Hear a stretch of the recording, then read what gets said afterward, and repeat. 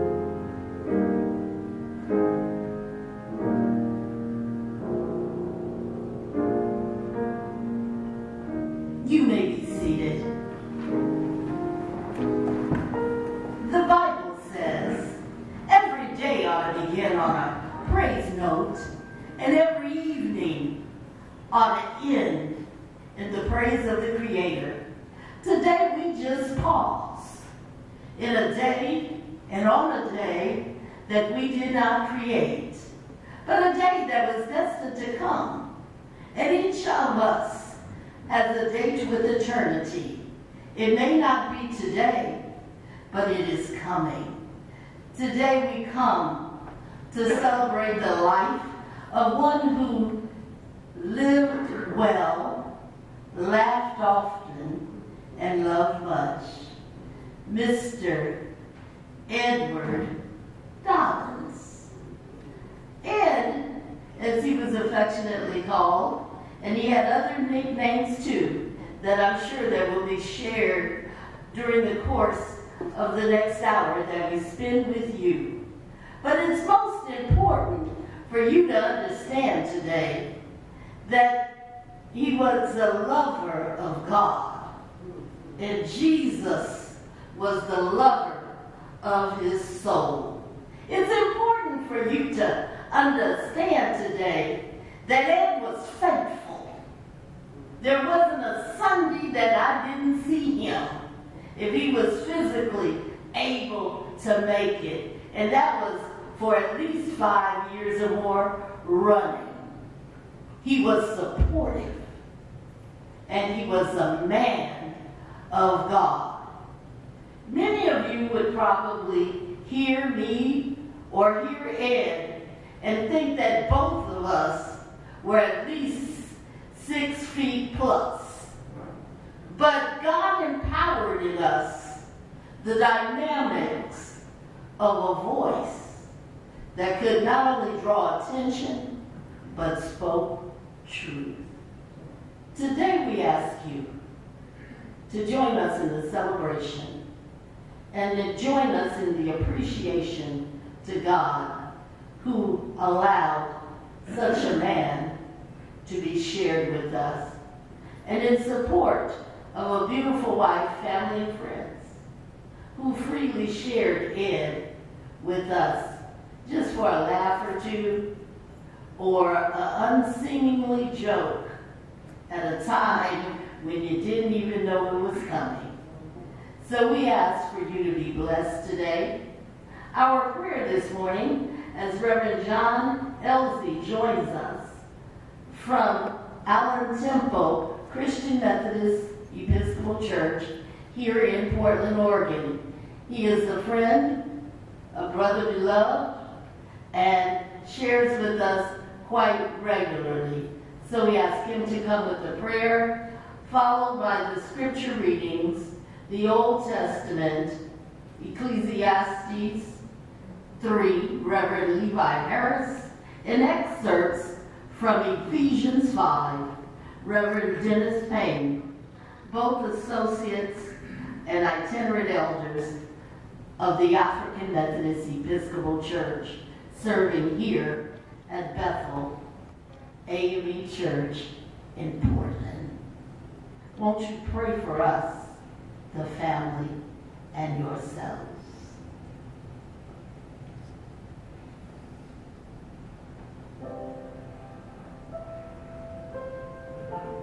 Good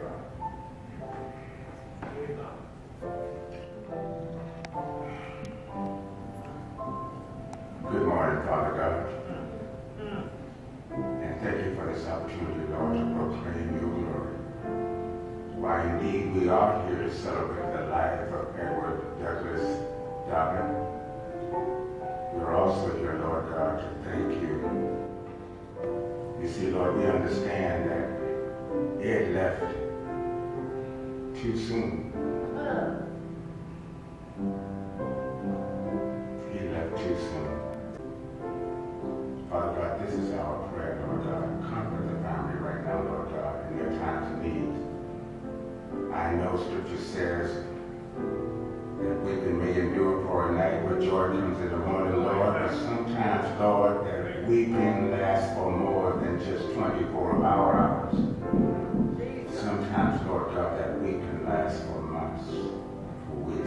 Years, Lord God. But in your word, you said you would never leave us or forsake us, Lord God. Thank you for being a promise keeper, Lord, a promise maker. We love you today, Lord God. This is our prayer in the name of Jesus. For in the name of Jesus, every knee shall bow. Strong knees and weak knees, black knees and white knees, old knees and young knees, bending knees and wounded knees. That Jesus is the living God. Amen and amen.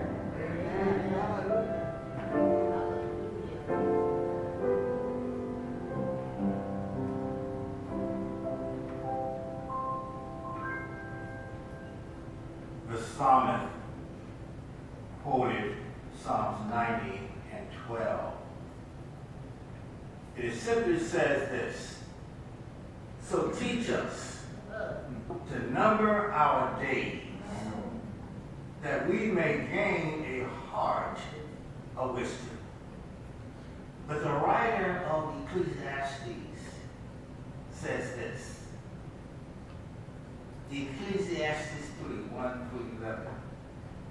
To everything there is a season, a time for every purpose under heaven, a time to be born, and a time to die, a time to plant, and a time to pluck what is planted. A time to kill, and a time to heal, a time to break down, and a time to build up, a time to weep, and a time to laugh, a time to mourn, and a time to dance, a time to cast away stones, and a time to gather stones. A time to embrace and a time to refrain from embracing. A time to gain and a time to lose. A time to keep and a time to throw away. A time to tear and a time to sow. A time to keep silent and a time to speak a time to love and a time to hate, a time of war and a time of peace. What profit has the worker from that in which he labors? I have seen the God-given task with which the sons of men are to be occupied. He has made everything beautiful in its time. Also, he has put eternity in their hearts, except that no one can find out the work that God does from beginning to end. Word of God for the people of God. And thanks be to Almighty and everlasting God. Hallelujah.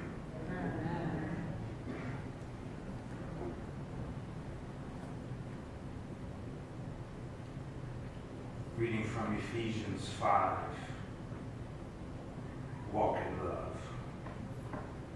Therefore, be imitators of God as dear children, and walk in love as Christ has loved us and given himself for us, an offering and a sacrifice to God for a sweet smelling but fornicators and all uncleanness or covetousness, let it not even be named among you as fitting for saints, neither filthiness nor foolish talk, nor coarse gestures, which are not fitting, but rather give giving of thanks. For this you know that no fornicator, unclean person, nor covetous man, who is an adulterer, has any inheritance in the kingdom of Christ and God. Let no one deceive you with empty words. For because of these things, the wrath of God comes upon the sons of disobedience. Therefore, do not be partakers with them. For you were once darkness, but now you are light in the Lord. Walk as children of light. Have no fellowship with unfruitful works of darkness, but rather expose them.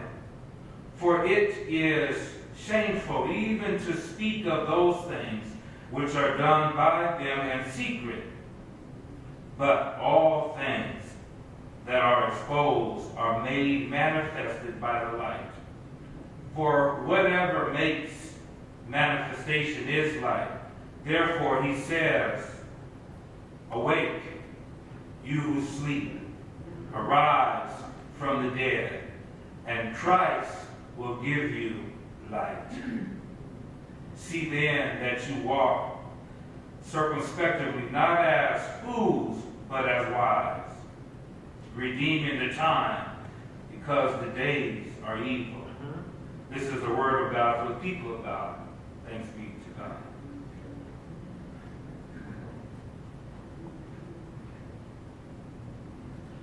May God's name be praised. Selected as a hymn of comfort was written by a woman who lived in darkness, but she celebrated and praised God in the light of day. Her name was Fanny Crosby. She was blind, but she wrote over 600 hymns and poems. And one selected for today, for our comfort, is Blessed Assurance. We ask you that you join in the singing of Blessed Assurance. If there's a hymnal near you, be sure to grab it. And it is hymn number 450. The most important part of that hymn is the part that resonates and should resonate with all of us. This is my story. This is my song, praising my Savior all the day long. That was Ed's story. He was faithful. What's your story?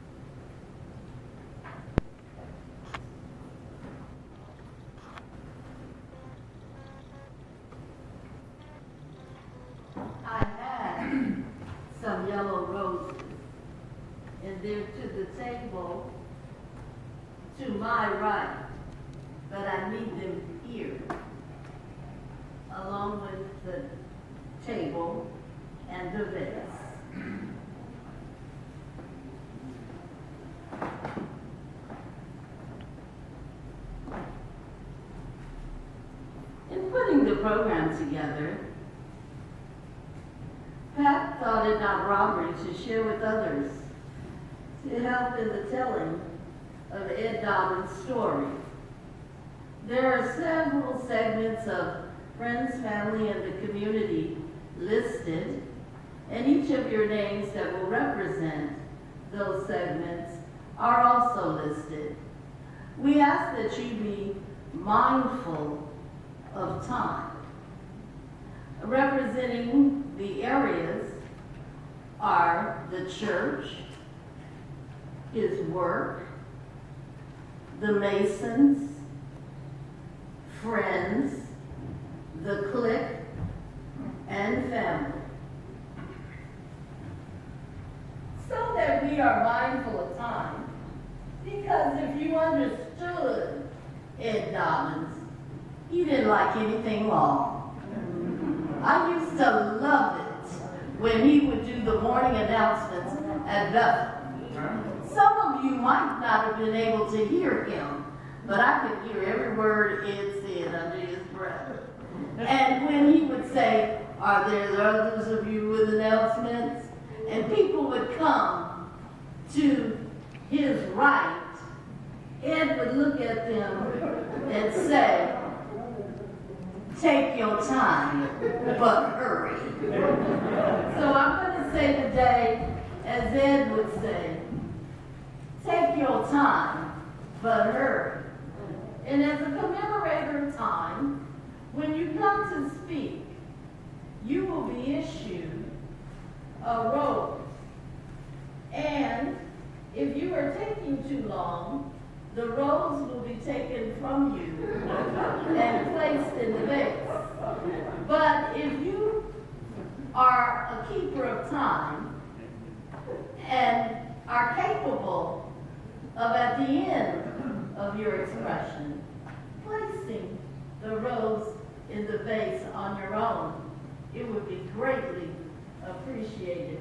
And as Ed would say, thank you.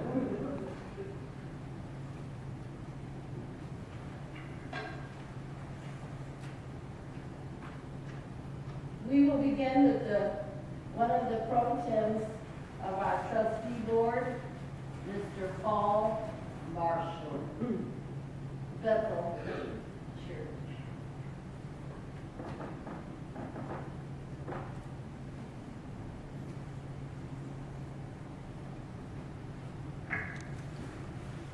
on that theme of keeping it short, to the family of Brother Ed Dobbins, my thoughts and prayers are with you as you celebrate the life of Brother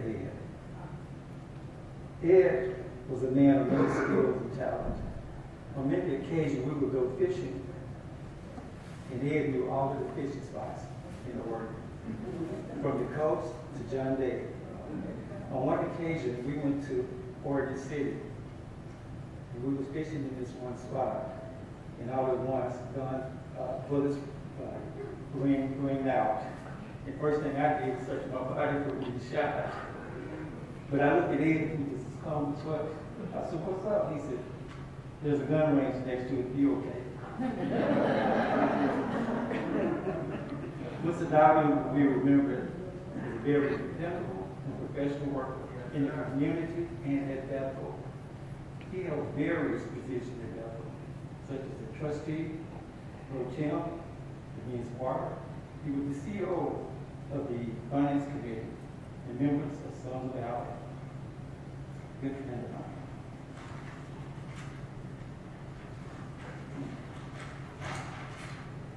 He will also be remembered as cousin, as he was often called by our pastor. He was, in fact, he was the only person that earned that title.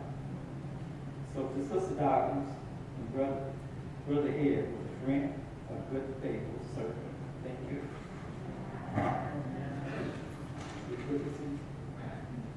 Amen. Amen.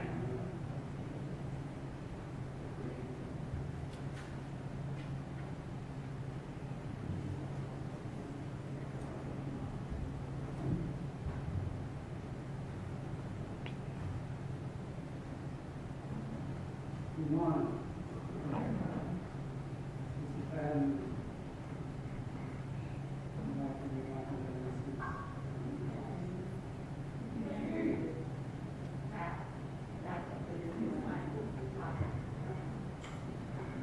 Ed and I first met in the late sixties.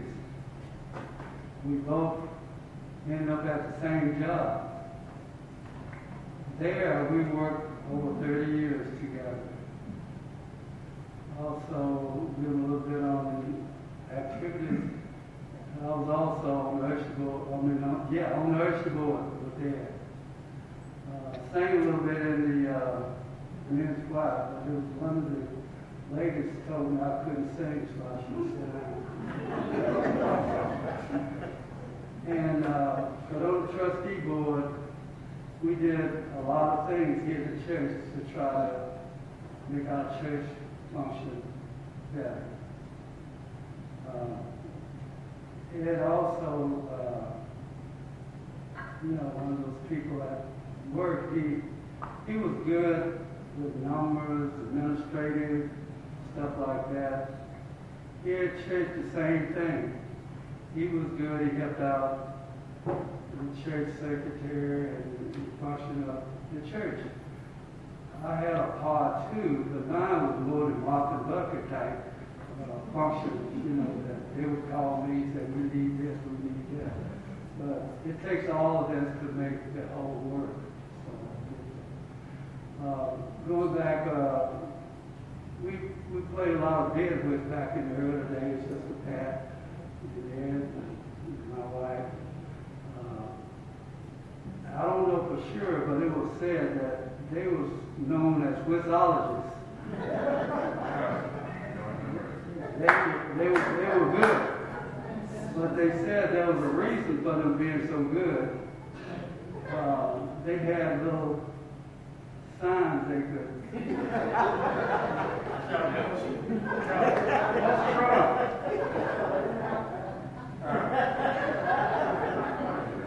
don't know for sure, but it was there.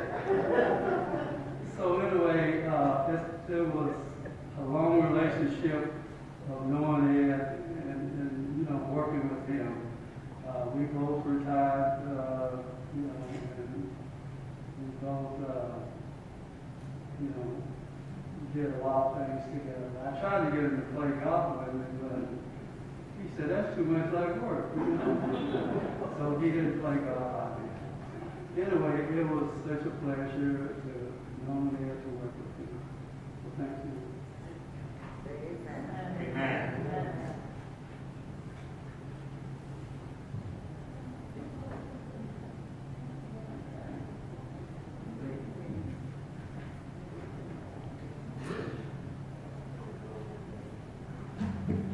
Good morning. Trust in the Lord with all thine heart and lean not on thy own understanding. In all thy ways acknowledge him, and he shall direct thy path.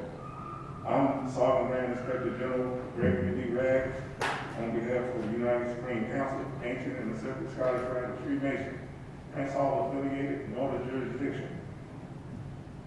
The illustrious Edward Brooks uh, some of the things, he was elevated to a 33rd degree Mason in May 25th, 1987. He was reclassified, emeriti, May the 30th, 2005. And what that means is that he went from a black robe to a, purple robe. He was full active on May the 28th, 2006. He was a former deputy of the Orient of Oregon from May the 28th, 2006 to June 9th, 2007. He was reclassified again to a past active on July the 22nd, 2014. His consistory was Motorman Consistory number 23 in either Oregon, Oregon, or Washington, Oregon. Um, this Dobbins, I, uh, our prayers and our condolences still go out to you and the family. Uh, you will still get a call from me, and I, I, it is my intent that I plan to call you a couple of times a month. I know I've called you twice, or well, once every week since the last month.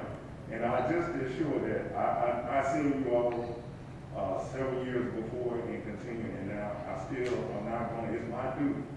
Uh, I'm a, a deacon of in my church, and I understand, and it's my obligation to do, to do it. Amen. Uh, The last thing that we always do when we hold a Scottish Rite service last thing we leave by saying, God bless you, my brother.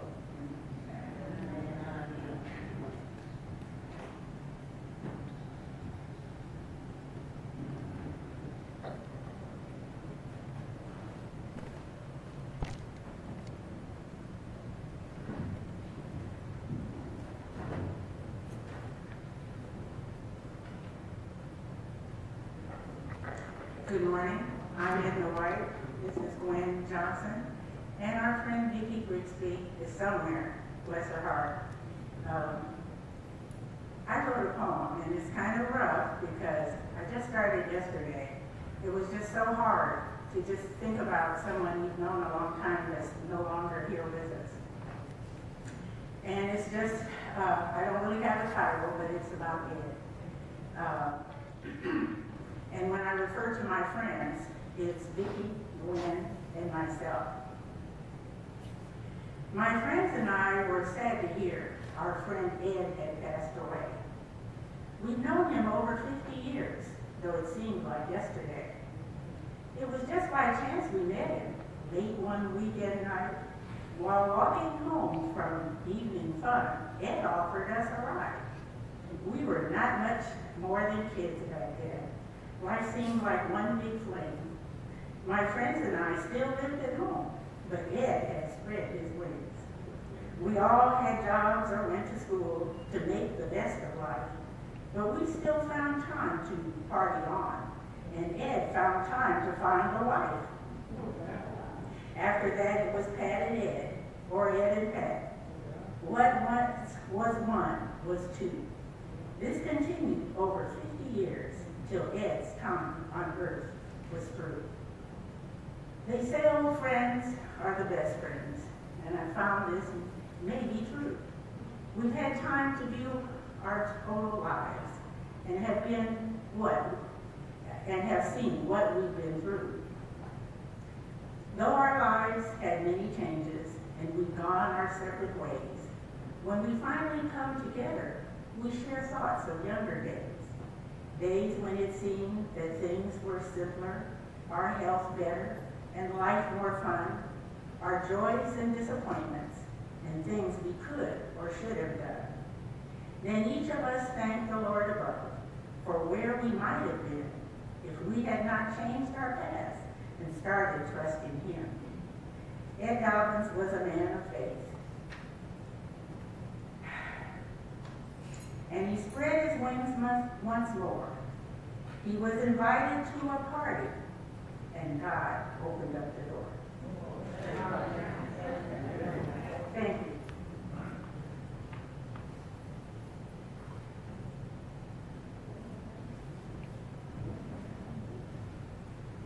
If I have 20 seconds or so, I'd just like to add that um, Ed was a special friend of ours, and thank you, Pat, for acknowledging that and being a part of our lives. And when Ed went off, he said he was going back home to visit.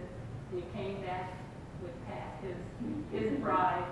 She, she, he willingly shared her with us, and we just had her going everywhere for a few months, showing her this place and that place. And, but we appreciate you, Pat, and thank you for honoring us as being friends and recognizing that you and Pat Vicki and Edna and I will be friends forever. And we love you.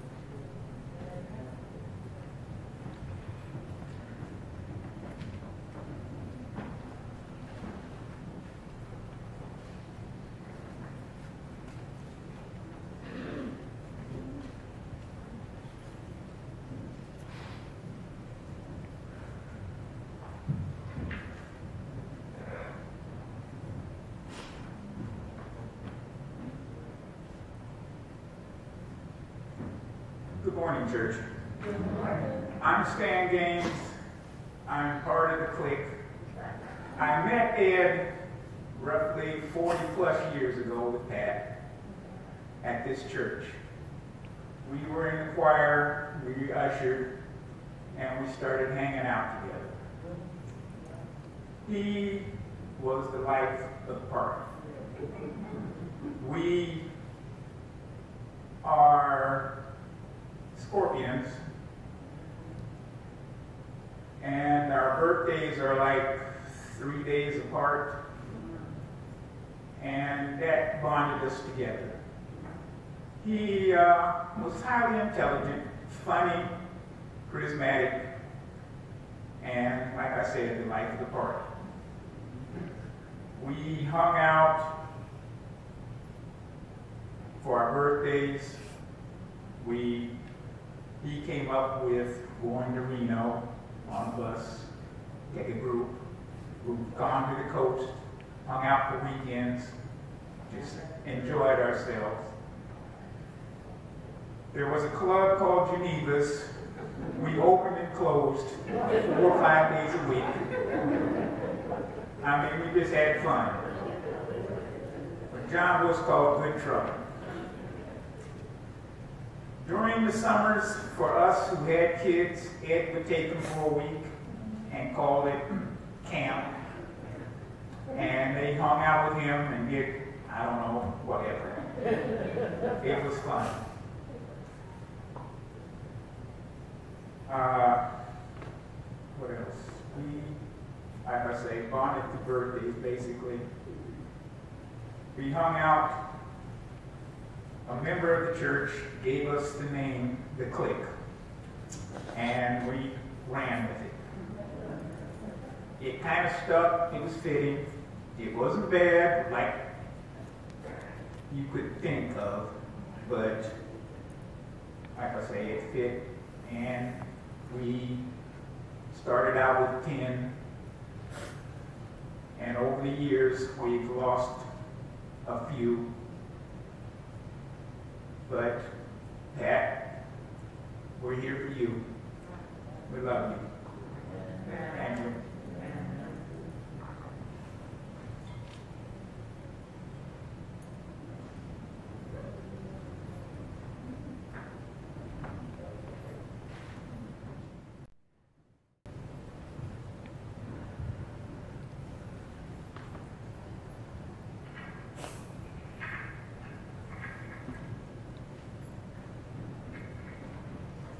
Hello, everyone. We want to thank each of you for being here. And if Ed were here, he would thank you too. He would try to uh, entertain you. He would try to celebrate with you. He would try to cook for you. He's always planning something. He would be your bartender and serve you whatever you want to drink. That was it. Uh, this is uh, Ed's cousin. We are his family here in Portland, and all of you are our family. We've been here at Bethel since the early seventies. So Bethel is our family, and we want to thank Bethel for accepting us and allowing us to be a part of this congregation. We want to thank this congregation for supporting us and our time here. So, um, I had something to say about it, but I don't know if you, you need to hear it, so I'll, uh, just leave it at that. Thank you.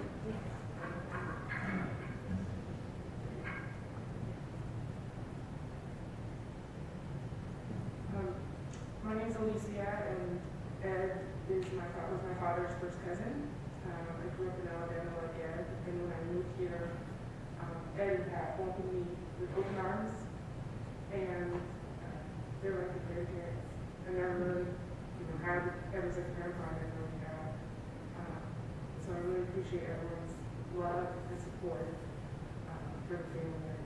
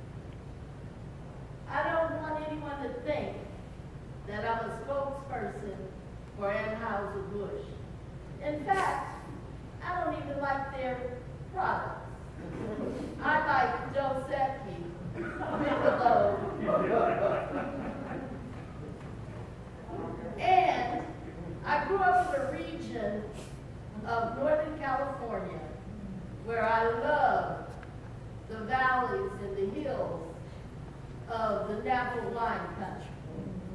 So I don't work for it and how of Bush. But if you want to know about Gloria Ferrer, Dom Perignon, they call me. but today I want to say to that, with all of the years that you have had the friends, and it's just been you and Ed. Know that there are other people who saw you as a model for how a couple should be. They probably even rejoiced and celebrated that although you didn't have any children, you had the time and the attention to devote to them. So I just want to pause and say, this buzz for you. Mm -hmm.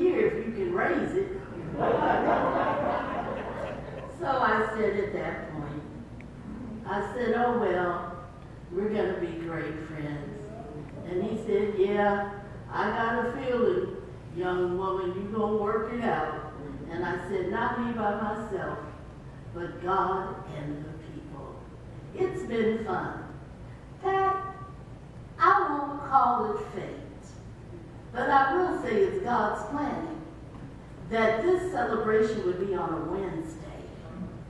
Because Wednesday was the day that of the week that Ed would leave Happy Valley and drive down to the church and he would tell Sister Florida, I'll be there when I get there. And whenever he came, he was welcome and on time to help balance the accounts, make a deposit if need be, and to sign checks. Ed had it together. Ed was never missed a church administrative meeting to give the financial report because he said, I'm going to be there to support you. He said, Pat might be running late, but we'll get there when we get there. Just don't, just hold them off till we get there. He said, because they're only interested in three, four numbers anyway. How much money did we have last month? How much money did we get this month? How much of it did we spend? And how much of it do we have left? And so he said, I keep telling them, Pastor, when your outgo exceeds your income, your upkeep becomes your downfall. And if you want to have money, either give some or don't spend so much. But he told the truth, he was real. And the one principle Ed believed in was tithing. You never saw or heard Mr. Dobbins trying to sell you a ticket to anything. He just gave, whether that was his time or his finance. In representing this church as the other at-large member to the Commission on Stewardship and Finance is Sister Florida Blake. Florida might have thought she was Ed's boss, but Ed was everybody's boss. Sister Blake with a resolution.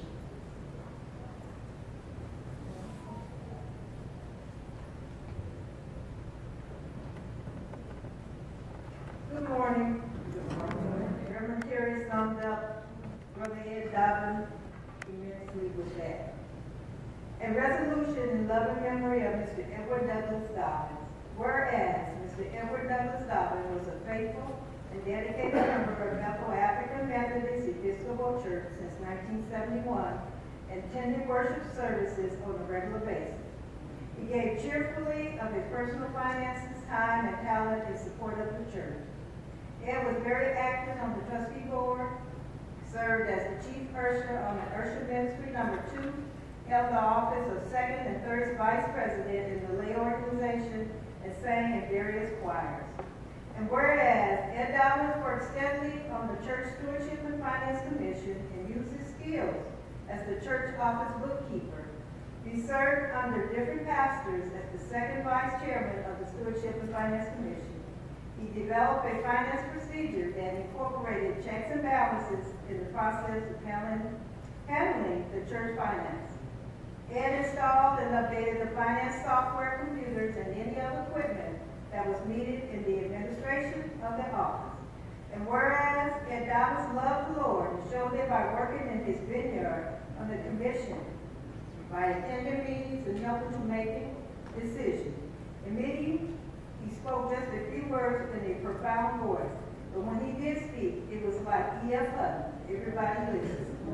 When it was time for the commission to make an announcement during church services, Ed was always appointed to speak. He captured everyone's attention immediately and promptly delivered his message that could be easily understood. And whereas Ed was a solid worker on the commission, taking field trips to the bank for deposits and transactions with his good friend on the commission, Thomas Darby. He carried out his duties on days he did not feel well.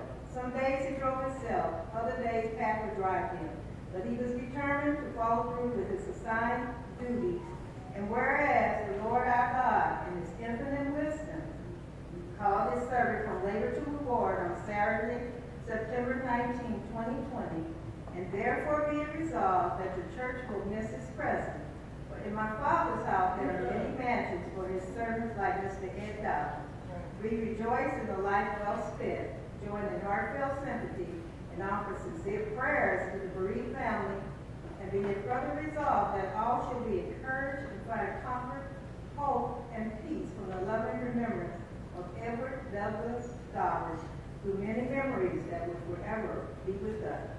Be it finally resolved, a copy of this resolution will be filed in the archives of Bethel AME Church, and a copy will be given to the family. Submitted in humble adoration. The Bethel African Methodist Episcopal Church family, this 14th day of October 2020. The Reverend Jerry McCray Hill, pastor. There was a resolution from afar from the death of Reverend Leslie Raphael White to the beloved family of Edward Dobbs, Sister Pat Dobbs. Precious in the sight of the Lord is the death of his saints. Psalm 116, 15. It is not the time we gather, it's the time we met that is so transformational. Dear beloved Pat and Precious Dobbs family, we met because you and your husband worked with the youth under the pastoral leadership of A. Lee Henderson and Bethel Church in the late 60s and early 70s. Pizza and games in your homes on Friday and Saturday evening, driving movies on other occasions. I remember coming in late at a A.B. and Verna's home. My excuse was I was at the drive-in with Ed and Pat and the other youth. A. Lee looked at me and said, well, you better get your poop in the morning because Ed Dobbs expects you to be at church. You cared. My home was exploding due to parental divorce. Ed and you were stabilizers faces, hands, presence of God, and Christ empowered by the Holy Ghost. I didn't know then, but now I do. You were God's answer to Perlene's prayers. You were keeping me and other youth out of the hands of police. You were that hedge around us that drugs and other negatives could not penetrate. For you held us accountable for our lives no matter what we face. You are there and we are graduated from high school because of you and Ed. I am. Love moves from both your eyes, sparkling with the joy that welcomed us. The late poet and writer Maya Angelou once said, Do your eyes dance when you see the children and they see you? I must say a resounding yes. For each time we were together, my soul danced, following the lead from your and Ed's eyes. Now that the years have passed, I'm keenly aware that life's journey stops at both sweetness and bitterness. So when I say thanks, because I know I've never really said it to you or Ed, for your faithfulness, love, mercy, it's not because of your perfection, because you endured life and smile, smile, and smile. Frankly, through my tears, I just see both of your smiles, even now. Thanks, Pat. Thanks, Ed, for giving me a portion of your faithfulness, your love, your life, and your soul. I am certainly Glory, Mama, and plenty of others who have gone on before Ed have now greeted Ed with great hugs of victory, kisses of love, and smiles, smiles of joyful thanks.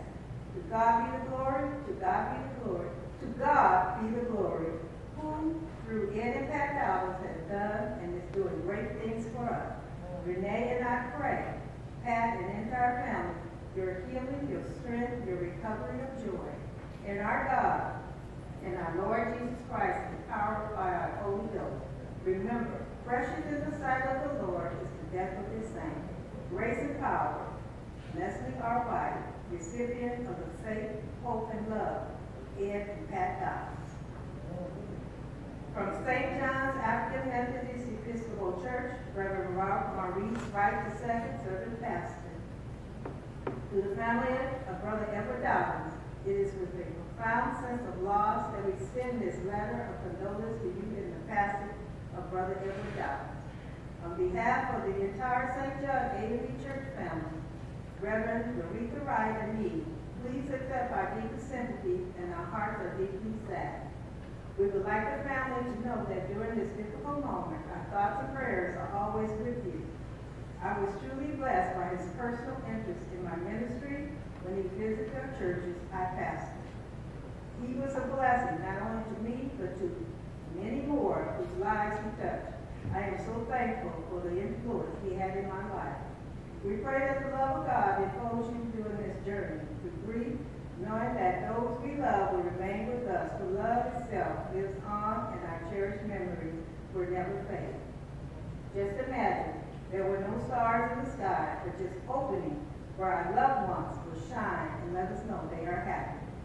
May you take comfort in knowing this is not the end. In this service, Reverend Maurice Wright II, International President, Music and Christian Arts of the AME Church. I know those were long res uh, resolutions, and Ed would not say. Thank you.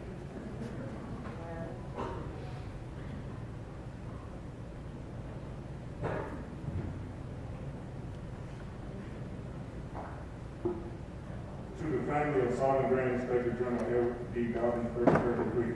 Whereas him who is, was, and always shall be, has determined that his messenger death will take from our ranks and from his life, Sovereign Grand Inspector General Edward D. Dobbins, one of the, one of our most beloved favorites, and whereas the Sovereign Grand Inspector General Edward D. Dobbins was born on 1 November 1946 in Decatur, Alabama, and was called from his earthly labor to eternal rest on 19 September 2020 at the age of 73. And whereas, although we grieve, we know that the grand architect is he that doeth all things well, even though to us sometimes it passes our understanding, and that the outstanding character of the deceased, his manifold acts and benevolence and charity, will serve as a monument to posterity, as well as our constant reminder to the brothers, the, the freighters of mortal man, and whereas we are agreeable sure that because of his honorable record, while here in flesh and blood, he will merit and be accorded a final resting place in that celestial consistory whereof the grand architect ruled as supreme architect, and that our beloved Sovereign Grand Inspector General Dobbins can say his works here on earth are for a good fight. Hmm. Therefore, be it resolved that we, the members of Washington and Oregon Council of Deliberation, extend our heartfelt sympathy, and that of the United Supreme Council of the Ancient and Accepted Scottish Rite of Freemasons, Northern Jurisdiction, Hall affiliation, to the family, relatives, and friends, to this their honor of bereavement when the Grand Architect comes to take his toll. We pray the rich blessings of the Grand Architect upon those left to sustain this imperishable loss. Be it further resolved that as the body of our brother returns to Mother Earth from whence it came, that the radiance of the star in the east guide his soul to the heavenly consistory in that holy city, not made by hands, eternal in heaven, and that as the brethren of the celestial consistory invite Sovereign Grand Inspector General Collins to enter and have a seat in the eternal east. As they welcome him, we say, as our final salute, peace, peace be with you, our brother.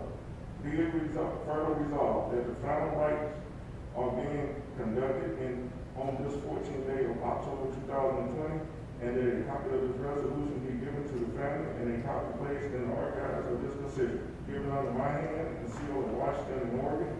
Council of Deliberation, this 14th day of October 2020. Attested by Damien E. Giles Sr., Illustrious Secretary, Gregory D. Ragg Sr., very, very degree, most illustrious Commander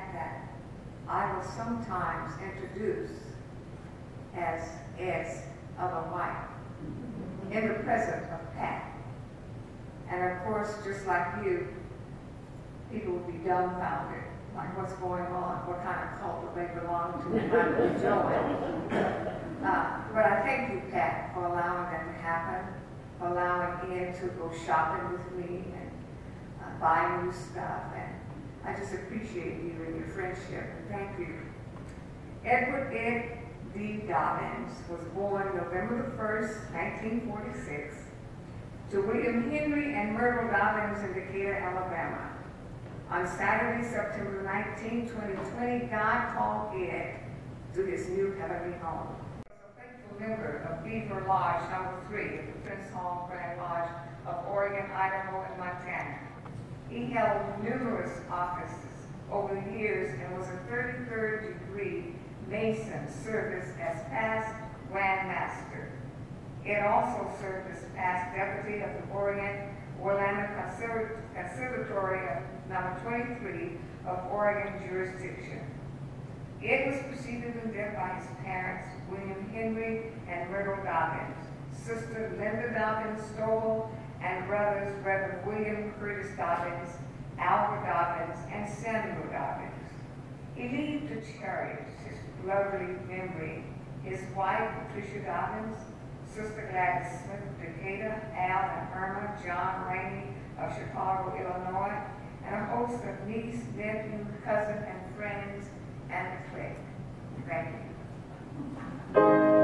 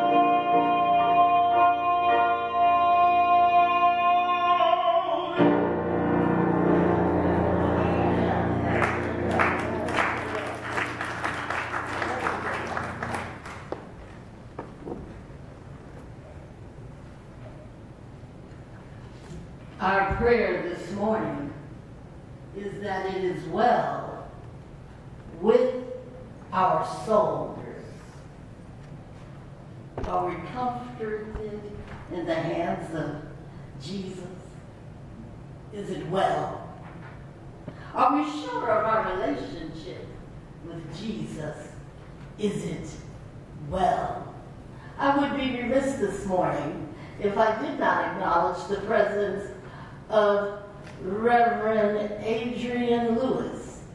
Adrian Lewis, as the layperson, has spent many days and many nights in this church, and I'm sure worked alongside of Brother Ed Dobbins. Now he labors with us in the vineyard, but just down the road at Vancouver Avenue Baptist Church. Thank you today for your support, Reverend Lewis. It's good to see you. Welcome home. We want to see more of you. God bless you. Many of you have heard Mr. Marshall say that Ed was my cousin. Some of you are probably wondering how are they related? We used to call each other cousins. And that is because I told you he was the finance man. One Sunday morning, my first Sunday when I was going to receive a check, Dennis, uh, Ed Dobbins had the checks. And he said, I'm kin to you. And I looked at him all strange. And I'm like, how are you kin to me? You know, my family's from Louisiana by way of Bermuda and you're from Alabama. He said, down south, when we kin to you, that means we owe you some money. and so he said, every Sunday morning, we gonna be kin, okay? And I said, that's right. He said, I'm your cuz. And so he's been cuz ever since. And the good thing about it is because God is our Father, He's still my cuz, even today. I didn't lose my cuz, because I know where He is. It saddened me, but I know where He is. Yeah. I want to tell you that the joys of pastoring, LZ, is that you can make relationships with people and you have sometimes individual relationships with individual people that other people in your congregation don't even realize how well you know the other person. That's called relationship. It's called pastoral care. Pastoral care isn't just when a person is sick and you show up at their house. Pastoral care takes place when you see them every Sunday, and you can relate. And they don't go through no crazy ups and downs and turnarounds with you. And they can dispense some good, solid wisdom and advice. Ed would tell me come on in my office and get your check. And I said, where is your office? And he said, well, actually, it's Florida's, but it's mine today. So I would go in there, and I don't know if you were listening when Sister Bobby read the obituary, and she read that one of his siblings was the Reverend William Curtis Dobbins. It was family to a pastor. And he knew how to talk to me in a pastorly brother way.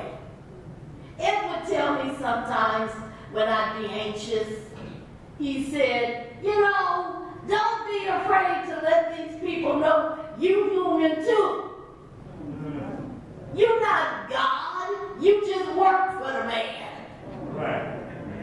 Right. He said, you hurt when you're kicked or punched. You bleed when you're cut. He said, don't be superwoman. Be vulnerable. And then he said, I want to tell you something else. It was the one Sunday I preached a sermon that approached the 45 minute mark. It happened to be ushering. It was second Sunday. And I said, Oh, I'm going to get that uh, usher board number two. I'm going to get back at him today. And I'm going to preach long because they usually lay, but they going to hear everything today. Ed was on the door. I had to go in his office and get my check. And when I went in the office, Ed said to me, Listen, I want to tell you something. He said, It's going to sound a little sexist, but that's okay. I'm your cuz. You'll forgive me. He said, A sermon ought to be like a mini skirt. He said, long enough to cover the subject and short enough to make it interesting.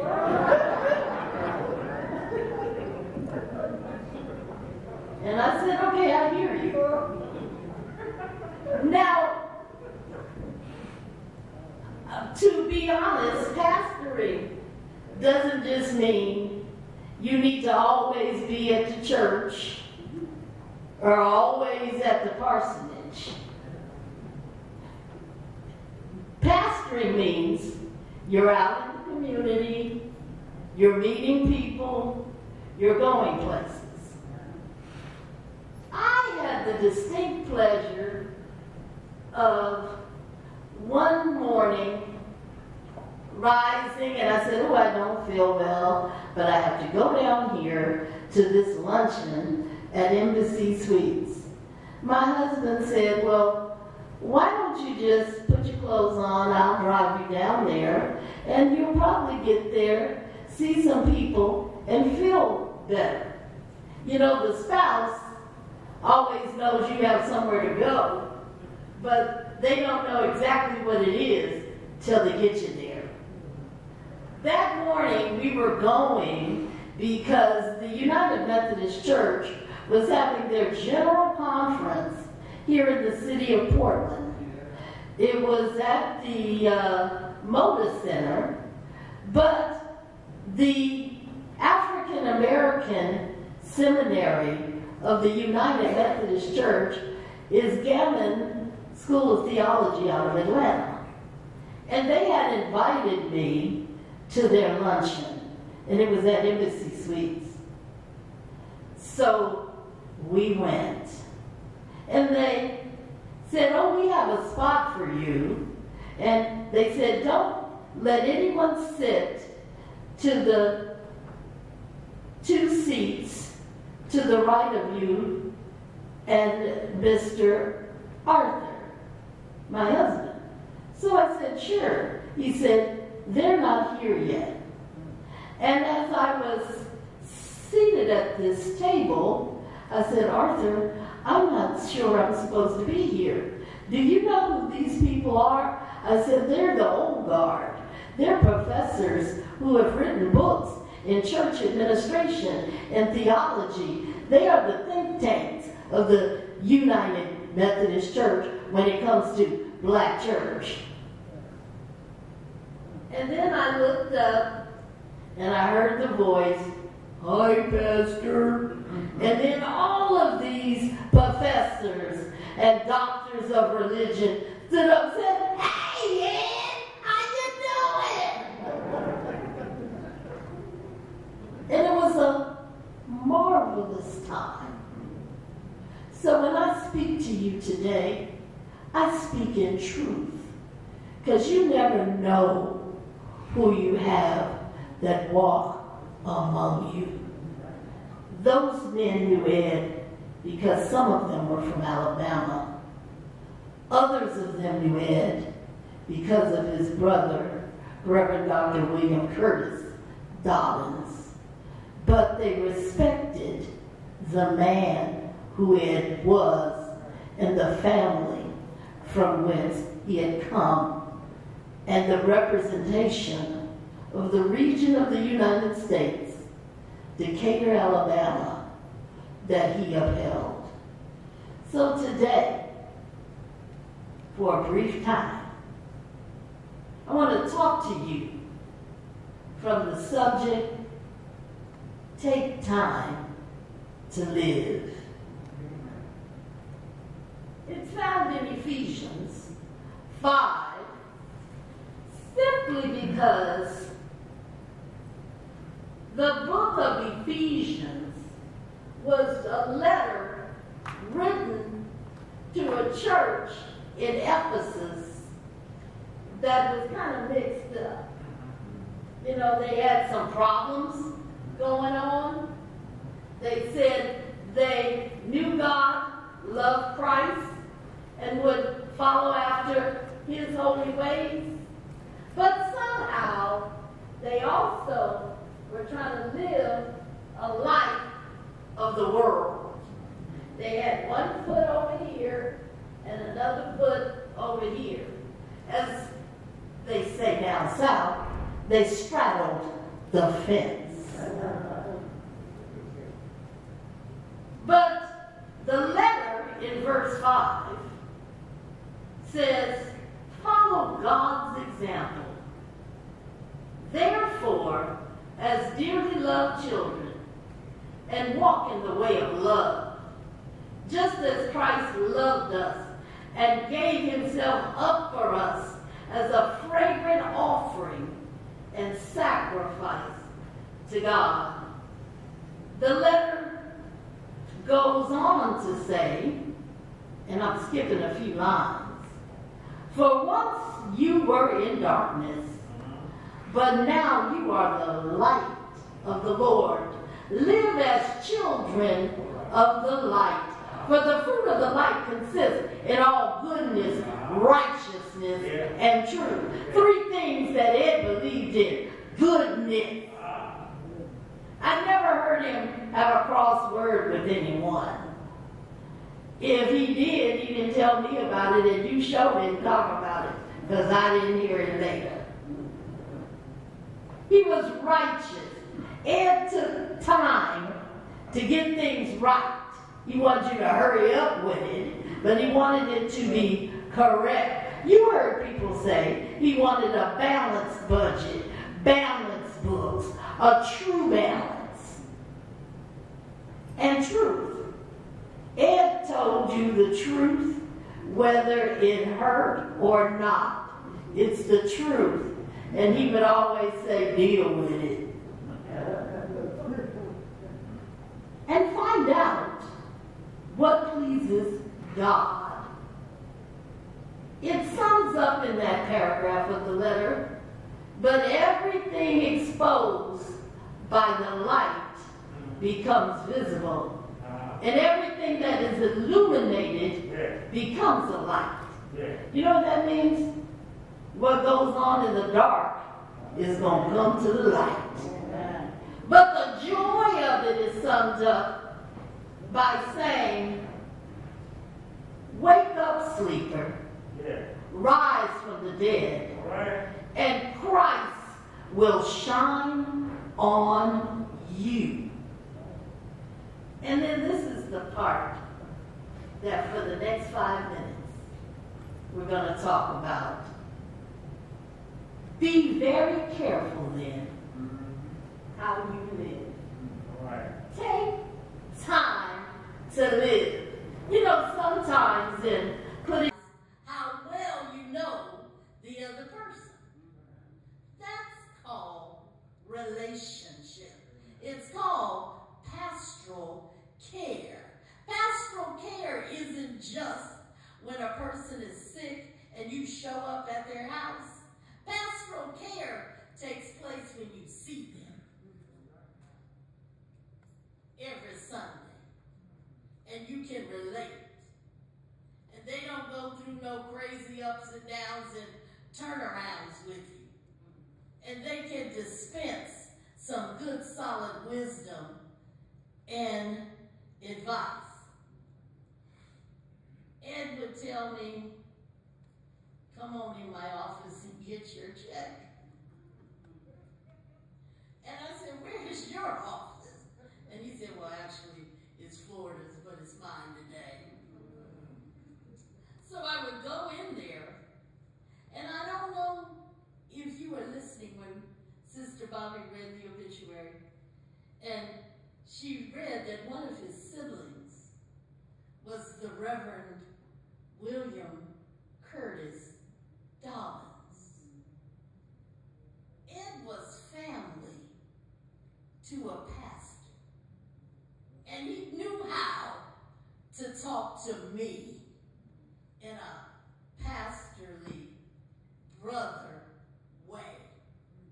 Ed would tell me sometimes when I'd be anxious, he said, you know, don't be afraid to let these people know you human too. You're not God. You just work for the man. He said, you hurt when you're kicked or punched. You bleed when you're cut. He said, don't be superwoman. Be vulnerable. And then he said, I want to tell you something was the one Sunday I preached a sermon that approached the 45 minute mark. Ed happened to be ushering. It was second Sunday. And I said, oh, I'm going to get that uh, usher board number two. I'm going to get back at them today. And I'm going to preach long because they usually lay, but they going to hear everything today. Ed was on the door. I had to go in his office and get my check. And when I went in the office, Ed said to me, listen, I want to tell you something. He said, it's going to sound a little sexist, but that's okay. I'm your cuz. You'll forgive me. He said, a sermon ought to be like a mini skirt. He said, long enough to cover the subject and short enough to make it interesting.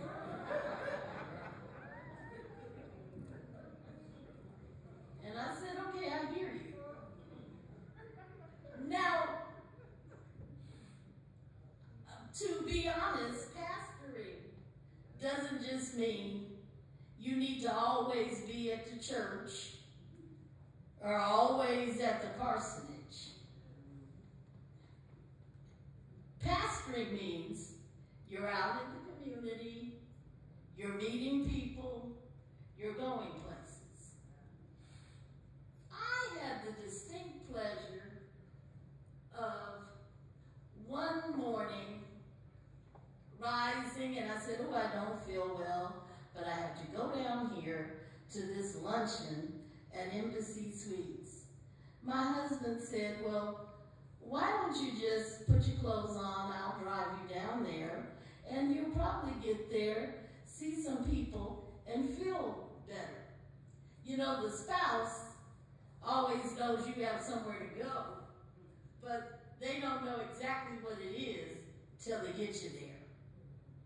That morning we were going because the United Methodist Church was having their general conference here in the city of Portland. It was at the uh, Moda Center, but the African American Seminary of the United Methodist Church is Gammon School of Theology out of Atlanta. And they had invited me to their luncheon, and it was at Embassy Suites. So we went. And they said, oh, we have a spot for you. And they said, don't let anyone sit to the two seats to the right of you and Mr. Arthur, my husband. So I said, sure. He said, they're not here yet. And as I was seated at this table, I said, Arthur, I'm not sure I'm supposed to be here. Do you know who these people are? I said, they're the old guard. They're professors who have written books in church administration and theology. They are the think tanks of the United Methodist Church when it comes to black church. And then I looked up and I heard the voice, Hi, Pastor. And then all of these professors and doctors of religion stood up and said, ah,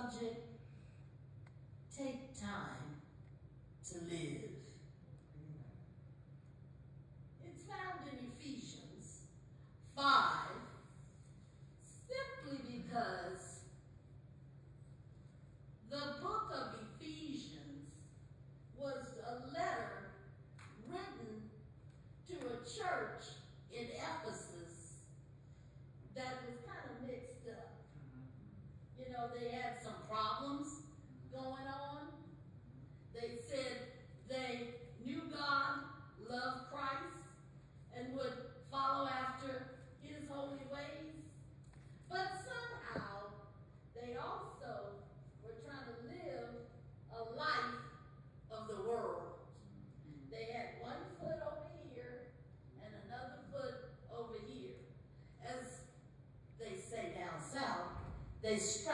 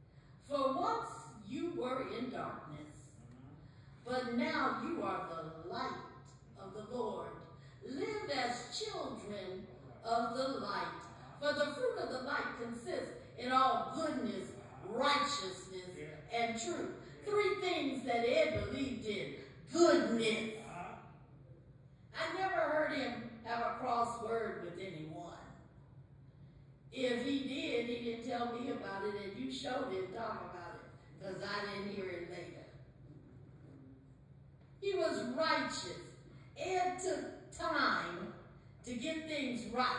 He wanted you to hurry up with it, but he wanted it to be correct. You heard people say he wanted a balanced budget, balanced books, a true balance, and truth. Ed told you the truth, whether it hurt or not. It's the truth. And he would always say, deal with it. and find out what pleases God. It sums up in that paragraph of the letter, but everything exposed by the light becomes visible, uh-huh. and everything that is illuminated becomes a light. You know what that means? What goes on in the dark is going to come to the light. But the joy of it is summed up by saying, Wake up, sleeper. Yeah. Rise from the dead. And Christ will shine on you. And then this is the part that for the next five minutes, we're going to talk about. Be very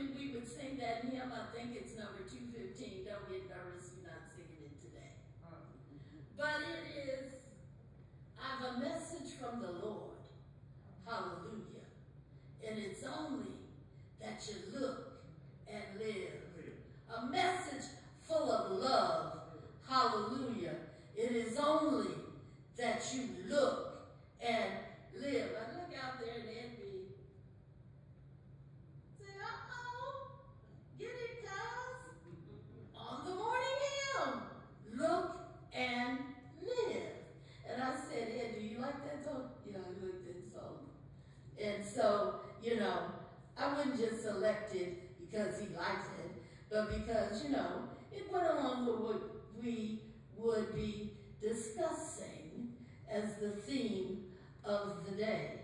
But Look and Live was one of the songs that summarized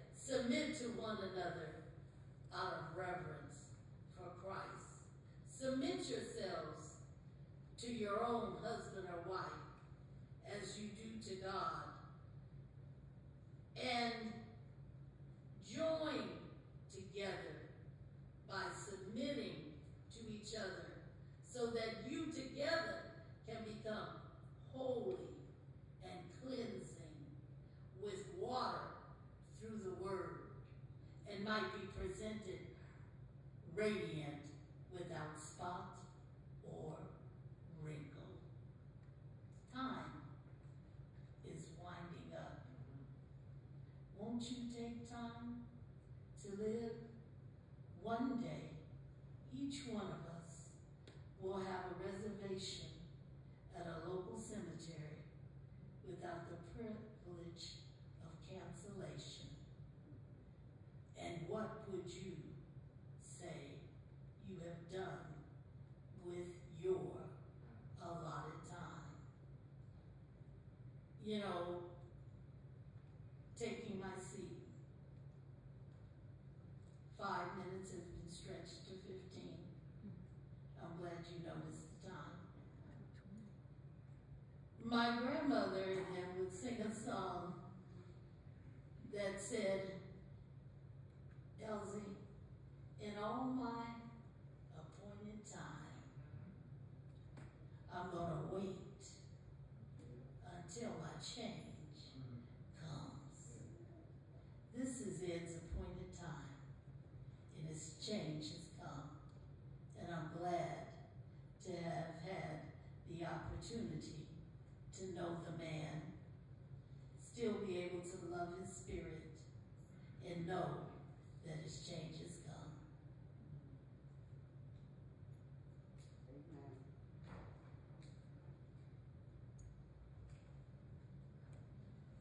Some may be wondering,